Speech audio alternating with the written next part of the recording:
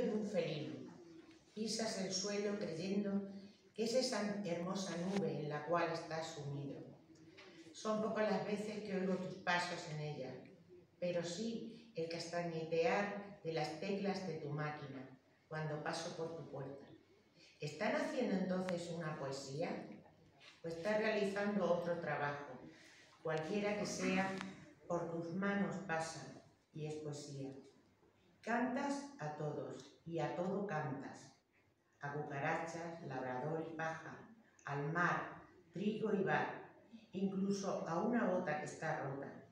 A todo cantas y cantas a todo. Pero ¿quién te canta a ti, poeta?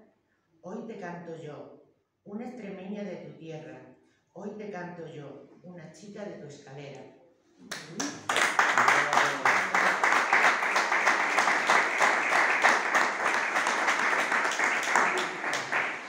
fue